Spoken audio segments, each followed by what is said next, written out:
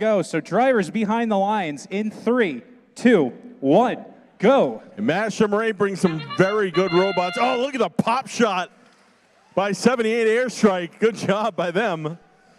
That 88 robot articulating itself into position. And good job by uh, the Nashoba Robotics team managing to dock and engage the switch in auto. That's going to help them out in the long run. TJ squared trying to fight off the Robo Panthers.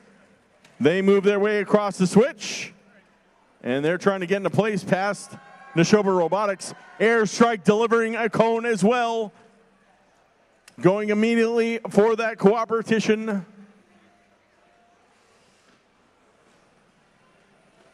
Seventeen sixty-eight Nashoba Robotics looking for an opportunity to go high with the cube. They get one. Airstrike drop one in for the Red Alliance. They have the coopertition requirement satisfied. The Blue Lions just needs one more. Airstrike going back to the substation. They speed across into the community, and they are going to drop down another cone. Good job for them. Good defense being played here by the Firebirds, trying to keep the Robo Panthers out of the game. Nashoba Robotics. They see a target, they're going to drop it low. That puts a third game piece into the coopertition area, and that's going to lower the link total to four for both alliances with 50 seconds left here in this round. Going high, it's the Robo Chiefs. Nashoba Robotics delivering and linking up. That's the second link for the Blue Alliance. Red Alliance presently looking for their first link still. A little bit scattered across the board. Airstrike looking to take care of that right now.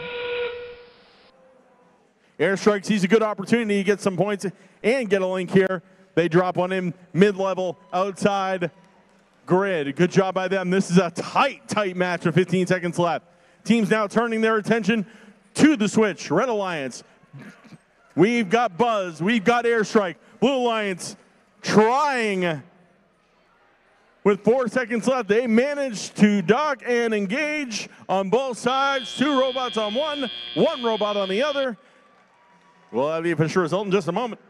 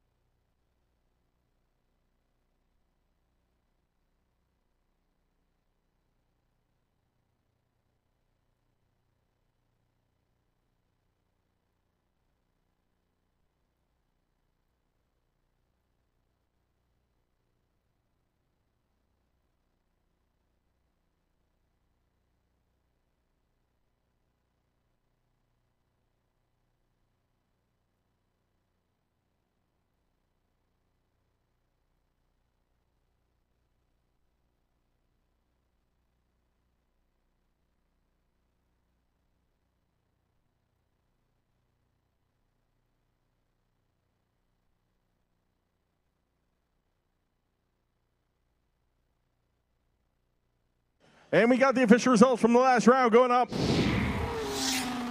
Blue Lions takes the victory 98 77, three ranking points for the Blue Lions. Good job by the teams involved in that match. Up next, we got match number nine, and we'll welcome to the field our MC.